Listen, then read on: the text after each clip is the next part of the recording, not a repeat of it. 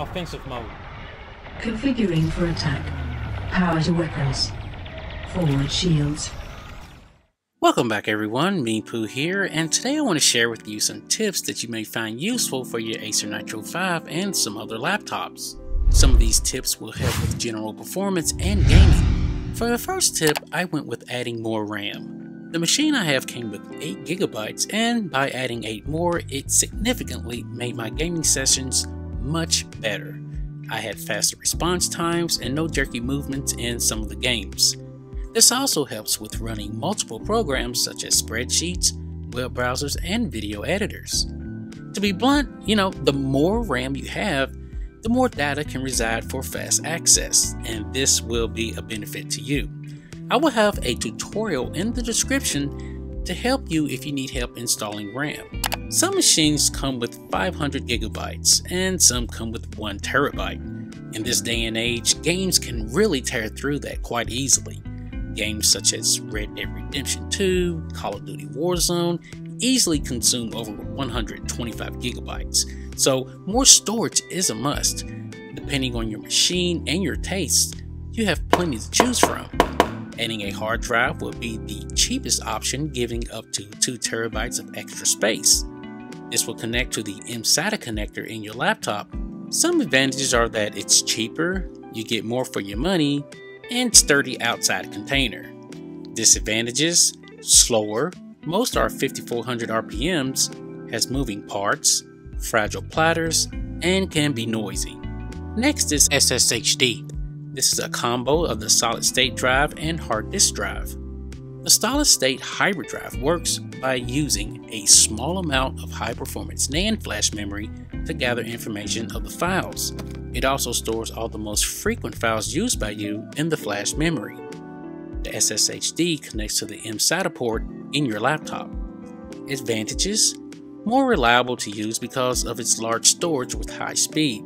The moving part of the SSHD moves less compared to the other ones. Solid state hybrid drives allow you to easily access the files that you have used frequently. Solid state hybrid drive has a long lifespan and cheaper than SSD and is affordable. Disadvantages The hard drive portion is very fragile, therefore, it can get damaged very easily. If the NAND goes, recovery could be very difficult. Next is a solid state drive, mostly called by the name SSD. It is a type of non volatile storage media that stores persistent data on solid state flash memory. Two key components make up an SSD a flash controller and NAND flash memory chips. The architectural configuration of the SSD controller is optimized to deliver high read and write performance for both sequential and random data requests. SSDs are sometimes referred to as flash drives or solid state disks. Unlike a hard disk drive, an SSD has no moving parts to break or spin up and down. Depending on the version of SSD you have purchased, the SSD will connect to the M.2 port or the mSATA connector in your laptop. There is also another type of SSD using a different protocol or communications with your machine. It's called NVMe, which stands for Non-Volatile Memory Express, and is the newest protocol for accessing high-speed storage media. It has several advantages compared to legacy protocols.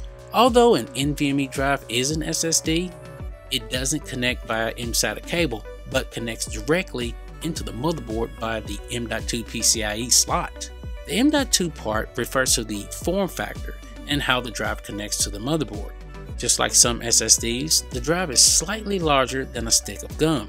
Because the drive is connected to the PCI Express, it's pretty much directly connected to the CPU, which allows it to be able to deliver sustained read and write speeds of 2000 megabytes per second. Some advantages of solid state drives are its fast writing speeds. It's pretty much noise free because there is no mechanical motors and there's no fans or anything. And the decibel is pretty much zero. It has fast startup because there is no motor to accelerate the rotation process. It has no magnetic head, has fast random reading and minimal read delay. It has a small size and is lightweight. It's very durable, it's shockproof, and fall proof. And since there are no mechanical moving parts inside, there will be no mechanical failure. Also, NVMe is super fast. Some disadvantages are solid state disk drives life is limited. You can only read and write so many times.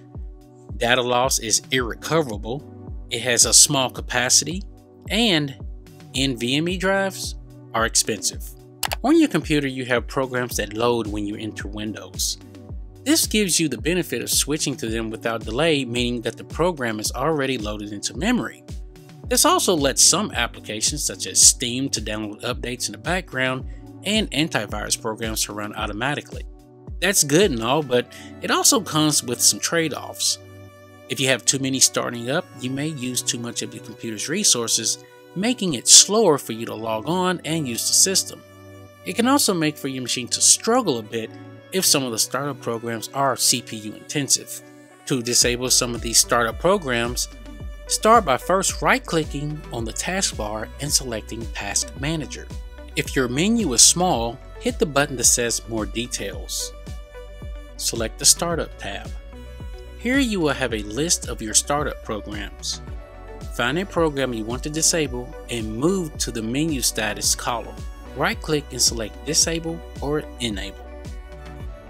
Are you tired of getting notifications from Windows reminding you to set up your Windows OneDrive or that you got mail, you can fix this by disabling them and free up some CPU cycles at the same time. Start by clicking the notification icon at the far bottom right on the taskbar.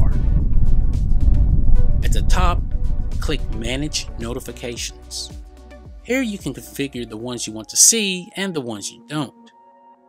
Just scroll down and hit the toggle button for each app. Personally, I just turn them all off completely by hitting the first toggle at the top. Once you've done this, your PC will be free from any notifications until you re-enable them. Windows 10 includes many visual effects such as animations and shadow effects. These look great, but they can also use additional system resources and can slow down your PC. This is especially true if you have a PC with a smaller amount of memory. Adjusting the settings can make your system snappier and free up RAM usage. So to do this, let's start by typing performance in the search bar. Select adjust the appearance and performance of Windows. Make sure the Visual Effects tab is selected on the Performance Options window. Select Adjust for best performance. If you would like to still have some effects enabled, manually check each one. It's advisable though to just use the Adjust for best performance radio button. When you are done with your selection, hit apply and then restart. That's just to make sure that all of the settings that you changed will take effect. If you want to gain a little bit more performance, try disabling transparency effects. These special effects look very impressive, but they also use your laptop's resources. Turn off these effects to gain a small boost to speed up your machine's performance. Let's start by right clicking on the desktop. Select Personalize. Select Colors. Then toggle Transparency Effects to off. You don't have to restart the machine, but more than likely, it's probably best that you do that just to make sure that everything is on and off. Windows updates are important because they often include fixes for critical errors or incompatibilities. Security holes are often patched, which, when exploited, could allow someone to use a loophole to gain entrance into your computer and steal information. There are also new features that could be added to the system, such as updated browsers or stores. Fixes for software and hardware conflicts are also sent out as updates, so these are very important even though you may not have had any problems with your system. Let's start by heading to the search bar and at the bottom type Windows Update Settings and then select it from the menu. Next click Check for Updates button and then wait. You will be presented with available updates for you to choose and install, or you may be completely up to date. You can also customize this by pausing, changing active hours, and review your download history. Make sure to keep your system updated to keep it running as efficient as possible. Sometimes games are released that are using the newest video drivers. Often, many people never think about upgrading them as their current games are working just fine, but as soon as they boot up a game they just purchased, problems start to arise. It could be a blank screen, lockups, or artifacts. In most cases, the newest driver can fix this, although it's not guaranteed. More than likely, it could just be the game and the problem was not caught during Q&A and could have been missed. A few steps to take is, you know, upgrade your video drivers. If NVIDIA graphics are used in your machine, locate the NVIDIA Experience application. You can do this by either searching in the search bar, locating in your start menu, or it might be an icon on your desktop. When you open the application, navigate to the Drivers tab at the top to the right of the Home tab. Once you click it, the application will let you know if you are current or if a new driver is available. If you use NitroSense, you can save some CPU cycles and RAM usage by selecting your preference and then closing it. It will still work as normal and you will save system resources in the process. If you need to use it, just click the NitroSense button and the application will reopen. Also, if you don't want your fans running on max settings but you still want your machine to stay cool, try using auto and make sure the cool boost tab is toggled. This will allow your fans to spin a little faster than normal. If you're using the laptop and you find yourself having stutters and demanding games, you may be thermal throttling. Temperatures in the 90s will cause this and can be solved with a couple of tweaks. Having a 9th gen Intel CPU will allow you to use software such as Intel XTU and Throttle Stop. If you have an Intel 10th gen, then you still have a few options although limited. Reason being is because the Plundervolt vulnerability has been fixed in 6th to 10th gen CPUs and others. I'll have a link in the description and in the video to the right so you can check them out. Sadly, this is the end of the tips, and I hope you found them useful.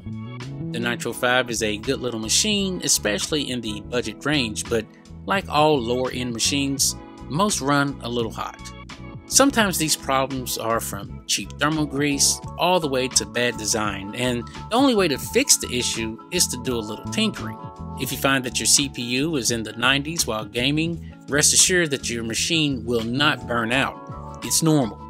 Your CPU has protections in place to protect it, and it's called throttling. In most cases, you will have sold your machine before the CPU dies.